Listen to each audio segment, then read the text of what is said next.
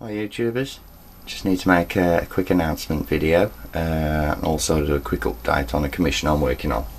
But it's commissions I want to talk to you about.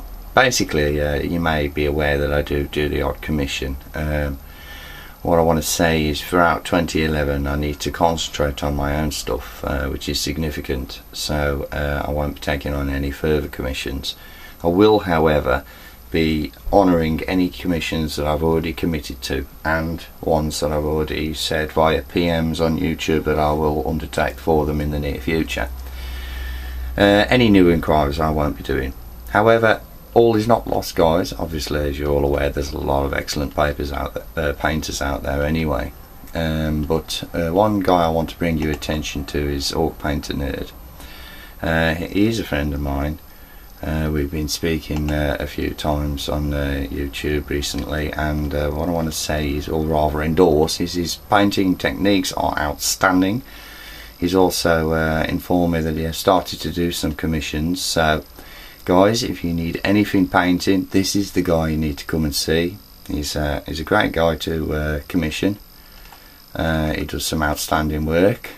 Um, check out his channel because you'll see which a lot of you will already be aware of anyway. He's got some outstanding work on there, so you'll be able to see what he's capable of and uh, allay any fears that you may have. Uh, top class work. Check him out. Reasonable prices. Um, is uh, relatively uh, new to the 40k scene, so just look at that. That's just outstanding. You can't complain with that sort of quality. So he's the man to see. Um, any um, commission inquiries forwarded my way through YouTube, I will uh, forward you on to him, uh, or you can PM, PM him directly. So check him out, guys. Cheers. Now let's see what I'm doing on my desk regarding commission. Alright then, this is um, anybody who watched my last video know that this is the Vanguard squad I'm working on. Um, looking pretty good, I think. Now I like the uh, sword, uh, power sword effect that uh, I've opted for. Focus. There you go.